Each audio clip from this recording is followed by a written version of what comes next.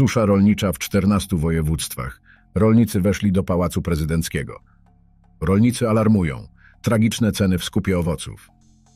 Ogromne wsparcie dla rolników z Unii zatwierdzone. Instytut Uprawy Nawożenia i Gleboznawstwa opublikował pierwszy w tym roku raport dotyczący suszy. Raport obejmuje okres od 21 marca do 20 maja i wskazuje, że susza rolnicza wystąpiła w aż 14 województwach. W okresie zimowym i wczesną wiosną zasoby wodne dla roślin ozimych były dobre na terenie całego kraju. Jednakże z powodu bardzo wysokich temperatur oraz dużego nasłonecznienia w marcu, kwietniu i maju, warunki wilgotnościowe dla roślin uprawnych ulegały ciągłemu pogorszeniu. Występujące w tym czasie opady były niewystarczające, aby zrekompensować wysokie parowanie gleby i roślin.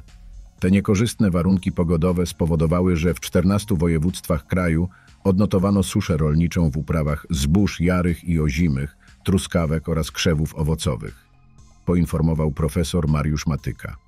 Od 21 marca do 20 maja bieżącego roku średnia wartość klimatycznego bilansu wodnego dla całego kraju była ujemna i wynosiła minus 92 mm, co jest podstawą do oceny stanu zagrożenia suszą. Największy deficyt notowano na terenach Niziny Śląskiej, gdzie wynosił ponad minus 150 mm oraz na obszarze Wyżyny Lubelskiej i Małopolskiej we wschodniej części i we wschodniej części Niziny Wielkopolskiej, gdzie wynosił od minus 120 do minus 149 mm. W północnych i południowych obszarach kraju niedobory wody były najmniejsze, w granicach minus 60 mm. W okresie od 21 marca do 20 maja susza wystąpiła w czterech monitorowanych uprawach. Zbożach jarych i ozimych, truskawkach oraz krzewach owocowych. Najbardziej dotknięte były uprawy zbóż jarych, gdzie susza wystąpiła w 14 województwach, w 1025 gminach, na obszarze obejmującym ponad 8% gruntów ornych kraju. Susze odnotowano również w uprawach zbóż ozimych, w 12 województwach, w 858 gminach. Ucierpiały również truskawki, gdzie susze stwierdzono w 9 województwach, na obszarze 4% gruntów ornych kraju. Susza wystąpiła również w uprawach krzewów owocowych w pięciu województwach. Instytut stwierdził ją w 51 gminach. Hubert Ojdana pokazał, jak wygląda jego pole. Wczoraj pokazywałem przynżyto o zimę, ścianę po rzepaku. Dzisiaj pokażę Wam jęczmień o zimę siany po również rzepaku. Tutaj są ślady żubrów, czyli miejsca, gdzie w ogóle to nie rośnie.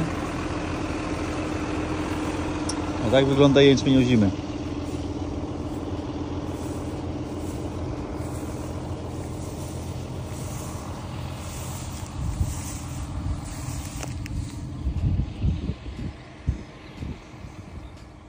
Prezydent Andrzej Duda przyjął przedstawicieli rolników ze Związku Zawodowego Rolników Orka, którzy przez wiele dni protestowali w Sejmie. Rolnicy domagali się rozmowy z premierem Donaldem Tuskiem, ale mimo podjęcia głodówki nie doczekali się spotkania. Dopiero rozmowa z prezydentem zakończyła protest. Prezydent Andrzej Duda przyjął rolników w Pałacu Prezydenckim. W spotkaniu ze strony kancelarii prezydenta uczestniczyli zastępca szefa kancelarii Piotr Ćwik i minister Wojciech Kolarski. Na prośbę rolników prezydent zgodził się, aby przedstawiciel protestujących wszedł w skład Rady do Spraw Rolnictwa i Obszarów Wiejskich przy prezydencie. Odbędzie się również spotkanie szerszej reprezentacji protestujących rolników z członkami tej Rady. Sekretarz stanu w Kancelarii Prezydenta Wojciech Kolarski powiedział, to dzisiejsze spotkanie rozpoczęło się od podziękowań ze strony rolników za to, że prezydent okazał protestującym szacunek, Pokazał, że dla niego sprawy polskiej wsi i polskiego rolnictwa są bardzo ważne. I de facto doprowadził do tego, że po dwóch tygodniach ten dramatyczny protest w Sejmie się zakończył. Dodał także, że rolnicy wyrazili gorycz, że nie spotkał się z nimi premier Donald Tusk.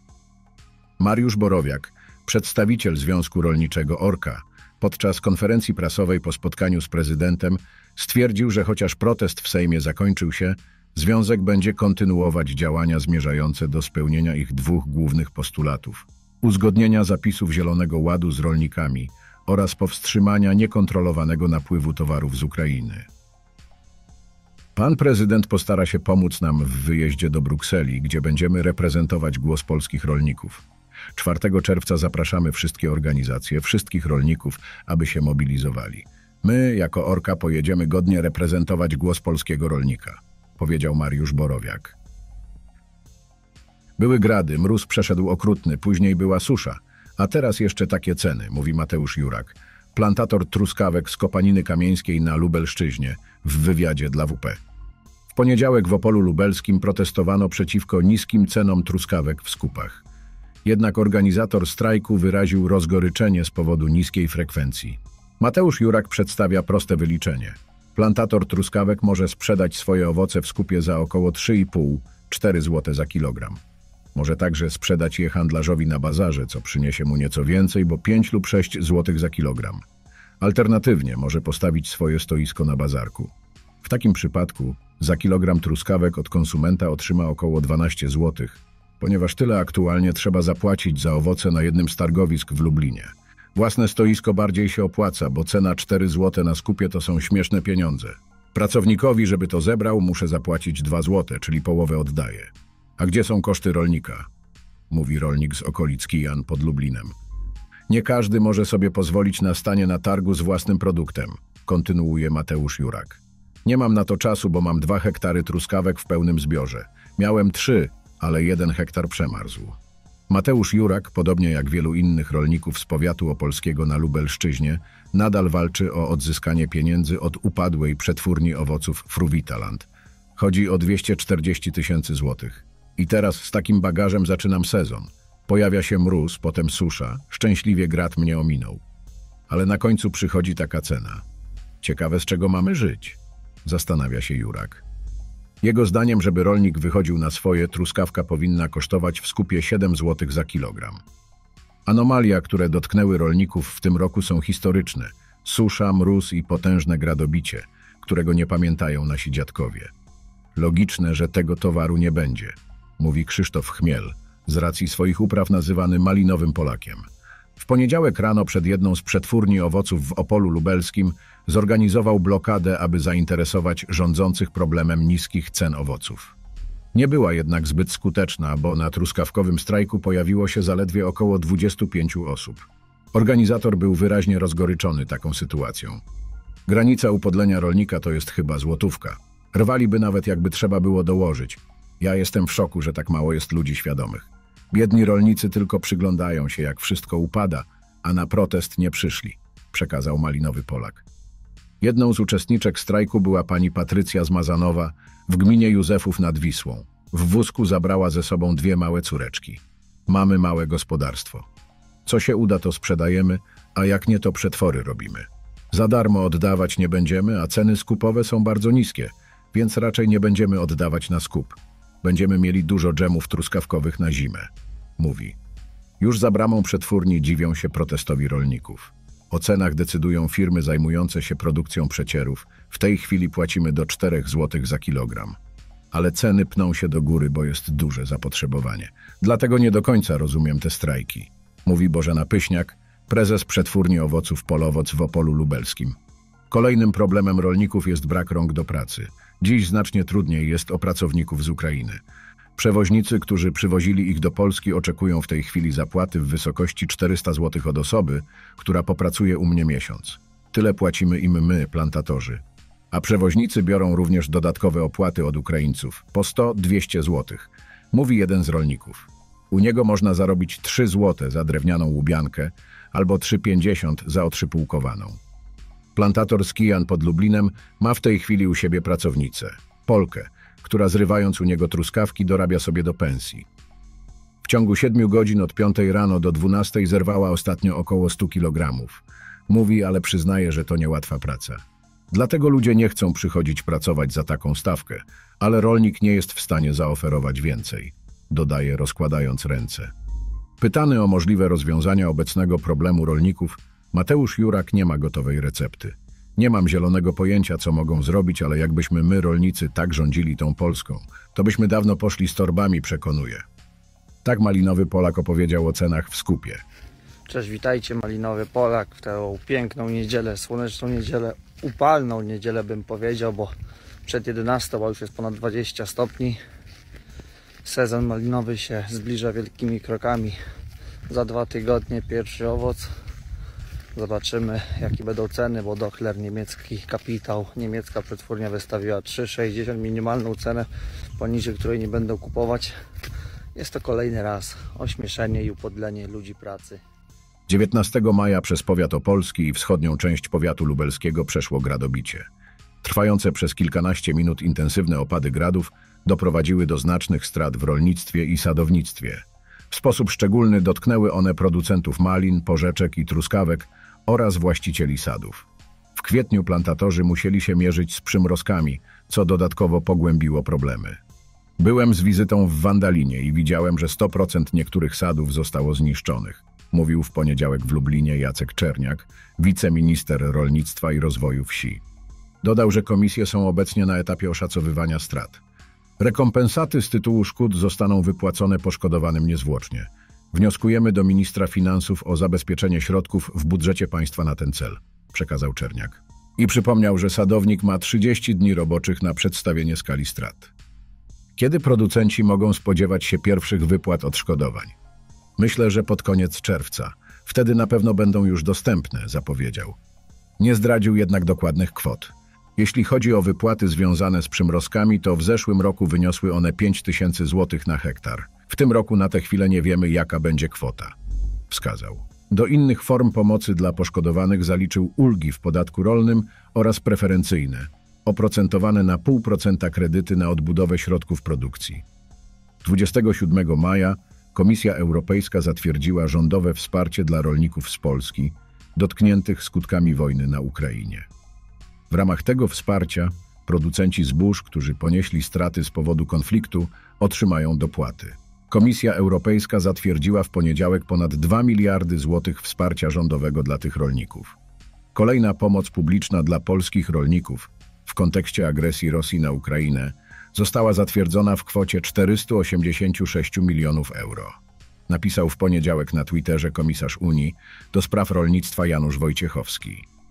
Pomoc publiczna w formie dopłat jest przeznaczona dla producentów zbóż, takich jak pszenica, żyto, jęczmień, przężyto oraz mieszanek zbożowych, którzy odnotowali straty z powodu inwazji Rosji na Ukrainę, a także grożącej im utracie płynności finansowej z powodu zawirowań na rynku rolnym spowodowanych wojną. Polski rząd udzielił wsparcia rolnikom już po raz 17. Przyznana pomoc nie przekroczy miliona 200 tysięcy złotych na jednego beneficjenta i zostanie przyznana rolnikom najpóźniej do końca grudnia bieżącego roku. Wniosek o to wsparcie został zatwierdzony przez komisarza Wojciechowskiego, a rolnictwo zostało włączone w system kryzysowej pomocy publicznej w marcu w 2022 roku, krótko po wybuchu wojny na Ukrainie. Program ten został przedłużony przez Komisję Europejską i będzie obowiązywał do końca bieżącego roku. Łukasz Pergol z organizacji oddolnych protestów rolników opowiedział na łamach Światu Rolnika, jakie mają oczekiwania względem rządu. Działania wobec rządu chcielibyśmy, żeby w końcu zaczęli słuchać to, co do nich mówimy, co im przesyłamy. Tak jak wspominaliśmy o, o Zielonym Ładzie, nie tylko ugorowanie czy mm, jest, jest problemem, więc czy to zalewanie, które na tą chwilę zostało wstrzymane, jest wiele wiele aspektów, y, nad którymi trzeba pracować. Y, trzeba pracować nad, nad, nad poprawą tego, co jest w tej WPRC. Chcemy pracować też nad nowym wspólną polityką rolną po 27 roku, bo, bo już takie rozmowy trwają, a nikt rolników do tego nie zaprasza, czyli nie może być nic o nas bez nas.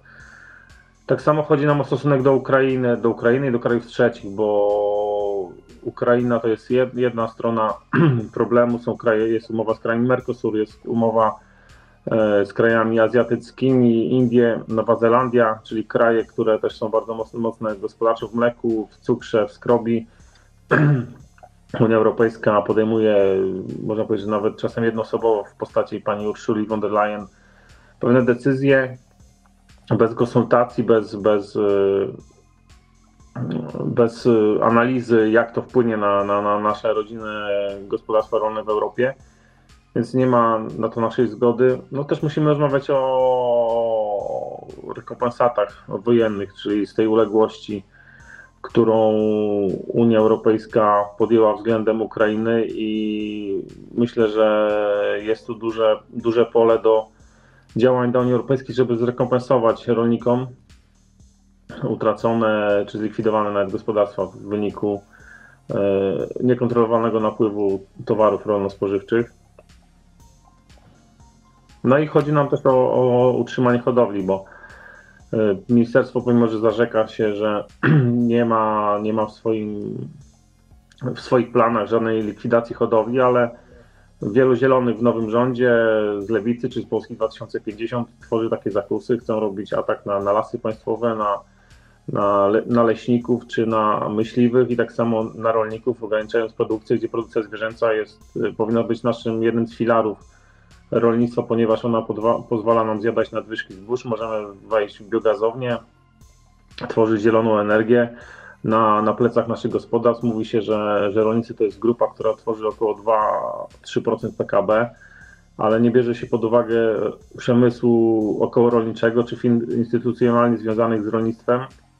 Jeżeli mówimy o, o, już o firmach okołorolniczych, o przemyśle rolno-spożywczym, mówimy już na poziomie około 20-20 paru procent PKB, czyli to jest jedna z wi- wi- wiodących gałęzi polskiej gospodarki, więc nie, nie można deprecjonować nas jako rolników.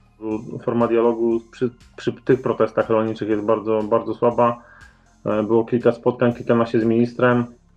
Widać, że, że minister ma słaby posłuch u pana premiera. E, Miało być spotkanie z panem premierem e, w kwietniu, na początku maja. E, Pan premier nie chce z rolnikami rozmawiać.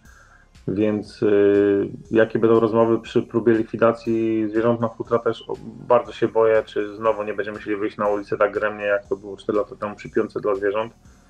Bo musimy pamiętać, że rolnicy są naczyniem, że rolnicy są siatką, siatką naczyń połączonych i gdy wypada jeden łańcuch z obiegu, to, to reszta, reszta dostaje po ogonie i prędzej czy później zlikwidujemy jedną, będziemy się wstydzić za drugą, trzecią i w końcu zostaniemy, zostaniemy z niczym i przejmą nas holdingi, fundusze zagraniczne i będziemy pracować w końcu u obcego, będziemy parobkiem na swojej ziemi, bo to ku temu zmierza ta cała zielona agenda. Dajcie znać w komentarzu, co wy sądzicie o wizycie rolników ze Związku Orka u prezydenta. Czy to dobry ruch ze strony Andrzeja Dudy? Czy może widzicie w tym jakąś grę polityczną? Kanał Rolnictwo bądź na bieżąco. Przedstawiamy najważniejsze branżowe informacje. Jesteśmy dla Was na najważniejszych branżowych wydarzeniach. Jeździmy na protesty za granicę. Sprawdzamy, jak wyglądają Wasze plony oraz pokazujemy, jak wygląda nasz krajowy rynek. Zapraszam do subskrybowania, zostawienia łapki w górę i obejrzenia poprzednich materiałów, które wyświetlają się na ekranie końcowym. Dzięki i do zobaczenia.